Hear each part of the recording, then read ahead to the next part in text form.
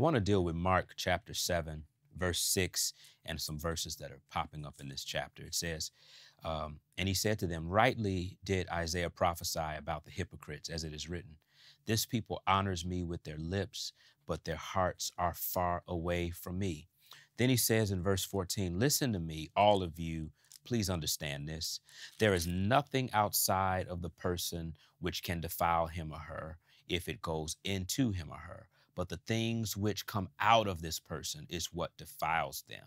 Because verse 21 says, For from within, out of the hearts of people come evil thoughts, acts of immorality, thefts, murder, acts of adultery, deeds of greed, wickedness, deceit, indecent behavior, envy, slander, pride, and foolishness. All these things come from within and defile the person we've made it to a good point in our time of fasting and in our time of prayer and in our time of God's word.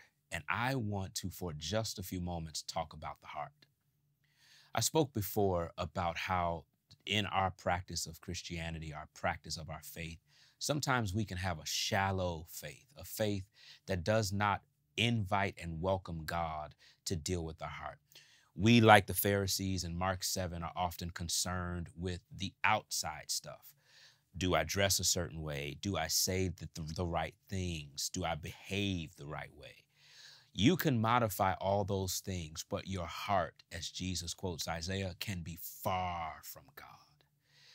And I want to challenge you this time and in this season of fasting and prayer to use this time to really ask the Lord to search our hearts. Scripture says, Our hearts are dark and deceitfully wicked. Who can know it?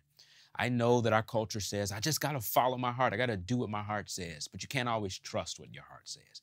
Because as Jesus teaches us, in our heart is where our evil thoughts come from. I want you to take a moment and ask the Lord to search your heart, to show you the areas that are not like Him, maybe the dark crevices of your soul that He wants to get at.